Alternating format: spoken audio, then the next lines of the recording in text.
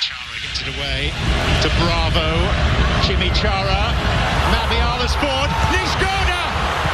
And Mora! On the stroke of full time! With the most spectacular and dramatic of rescue I think it's my favorite Timbers memory just because of like the timing of the goal, the last second nature of it, the like the hope that I had inside of me of like there's still time, there's still a chance for us to win this game, and it would just bring all the glory, it'd bring the cup home. And then the time was winding down, it felt started to feel like a disparaging moment. He's not their friend. And the ball came down the right side of the field, got, got lifted into the box. It kind of bounced around a little bit. You knew as a fan that it was now or never. It was, it's got to go in or this is over. I think Niezgoda took a shot, deflected off of a defender, and it just seemed to fall to Mora, right time, right place.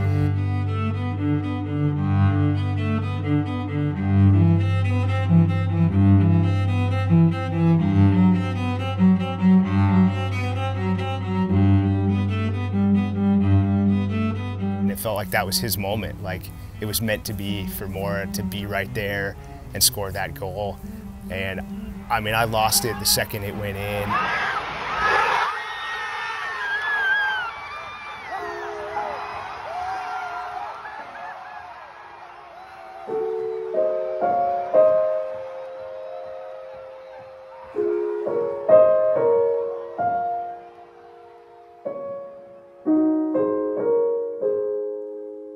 The word hope comes to mind when coming to that game because, yeah, we did lose the game, uh, but it didn't feel like a loss at the end of the day for me. Just being able to witness the uh, like the idea that the game could go on and that we could win. Um, when he scored that goal, it gave us hope. It gave me hope. It felt like it gave every single person in this building hope that we might win the game. And even in the end, like when it didn't happen, I still walked away here with a huge smile on my face because we got to see something amazing, feel like something that we'll never see again. Um, that was so unique.